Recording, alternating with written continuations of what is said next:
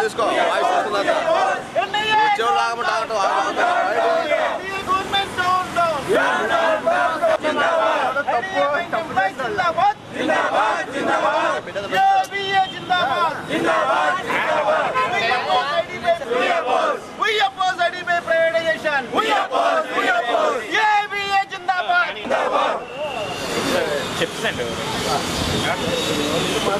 జిందాబాద్. జిందాబాద్ జిందాబాద్. Andhra Pradesh bank employees federation జిందాబాద్. జిందాబాద్ జిందాబాద్. Visakhapatnam district bank employees coordination committee Zindabad. Zindabad. We oppose we oppose we oppose we oppose unilateral decision of the government in ఈ రోజున దేశవ్యాప్తంగా IDBI బ్యాంకులో పనిచేస్తున్న ఉద్యోగులు అధికారులు రేపు ఇరవై ఏడో తారీఖున ఒక్కరోజు సమ్మెలో వెళ్ళడం జరుగుతుంది. ఆ సమ్మెలో ప్రిపరేటర్ భాగంగానే ఈ రోజున అన్ని రీజనల్ ఆఫీస్ ముందు ధర్నా కార్యక్రమాన్ని చేపట్టడం జరిగింది.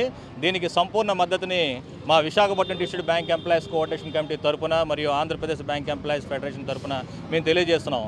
ఈ సమ్మెలో ప్రధానమైన డిమాండ్ ఏంటంటే ఈ ఎన్డీఏ గవర్నమెంట్ తీసుకున్న చర్య ఏదైతే ఉందో ఈ ఐడిబిఐ బ్యాంక్ని ప్రైవేట్ పరం చేద్దామని దాన్ని మేము స్టాప్ చేయమని మేము కోరుతున్నాం. గతంలో యాక్సిస్ బ్యాంక్ యొక్క పరిస్థితి కూడా ఇటువంటిగా జరిగింది. ప్రభుత్వ రంగం ఉన్న ప్రభుత్వ రంగంలో ఉన్న అనేక బ్యాంకుల్ని ఈ రోజున ప్రైవేట్ పరం చేస్తూ వెళ్ళిపోతే రాబోయే రోజుల్లో అనేక పల్లెల్లో బ్యాంకులు విస్తరించాల్సిన పరిస్థితిలో రాబోయే రోజుల్లో బ్యాంకులు విస్తరించడం జరగదు.